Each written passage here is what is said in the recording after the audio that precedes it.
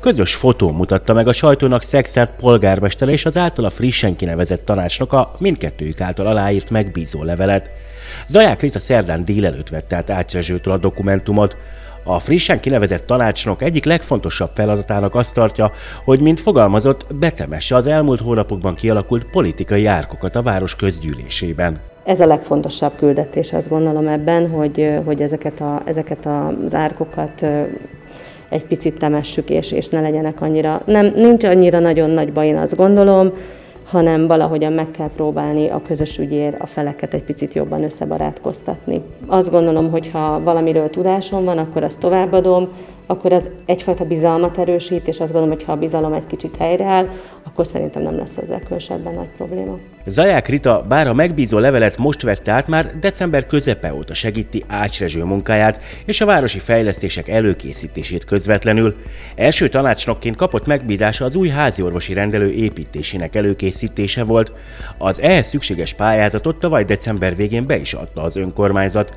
Zaják Rita azt mondja, azért döntöttek az Aliszka és az Aljende utcák találkozásánál fekvő terület mellett, mert a rendelőbe költöző két házi orvos körzete onnan nem messze található. Az orvosi rendelő mellett azért egy használható közparkot is szeretnénk létrehozni. Az, hogy abban a közparkban mi legyen, hol legyen, hogy legyen, azt szeretném az ott lakókkal közösen megbeszélni. A Bemutcából egyébként már volt is érdeklődő, aki fel is ajánlotta, hogy bármiben, ha tud segíteni, akkor ezt megteszi. A pályázat az zöld beruházásra volt kiírva, és ha már zöld beruházás, akkor viszont tartunk szem előtt minden fenntarthatósági szempontot. Tehát olyan épületet építsünk, ami a lehető legkisebb mértékben károsítja vagy terheli meg a környezetet, és legyen a lehető legkönnyebben fenntartható. Ács Rezsi, a város polgármestere azt mondja, továbbra sem mondtak le arról, hogy Szőlőhegyen is fejleszék az alapegészségügyi ellátást, ezért a tervek között továbbra is szerepel, hogy rendelő épül a városnak azon a részén is. Nem jelenti azt, hogy nem kap Szőlőhegy majd egy orvosi rendelőt.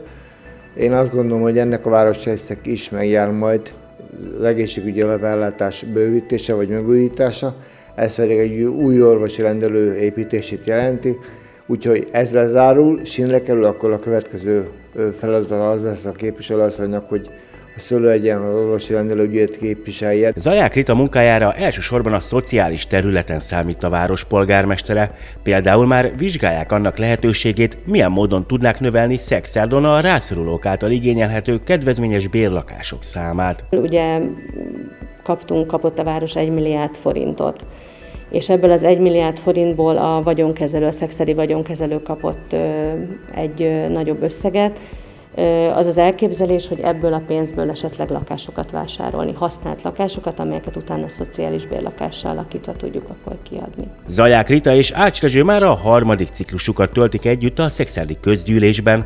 A város polgármestere szerint az elmúlt években egyértelműen világossá vált, hogy bár különböző politikai platformot képviselnek, a frissen kinevezett polgármesteri tanácsnok célja végig a város fejlesztése volt. Azt tapasztaltam, hogy Rita azt képviseli most, amit képviselt tíz évvel ezelőtt.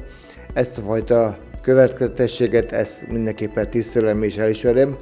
Ezért gondoltam arra, hogy tudnánk együtt dolgozni, hiszen együtt vagyunk már a közülésben régóta, ismerjük egymást, vannak kisebb sullódások, nem fogunk átülni a másik oldalra természetesen, sem ő, sem én, de én azt gondolom, hogy vannak olyan ügyek, amelyek mentén egyszerű lesz, vagy könnyű lesz kialakítani majd az együttműködés és az együtt gondolkodást. A következő napok egyik legfontosabb feladata az lesz Zaják Rita szerint, hogy megpróbálják elérni Szexárdon a szociális ágazati dolgozókkal együtt a Tolnai megyeszékely pedagógusai is megkapassák a koronavírus elleni védőoltást.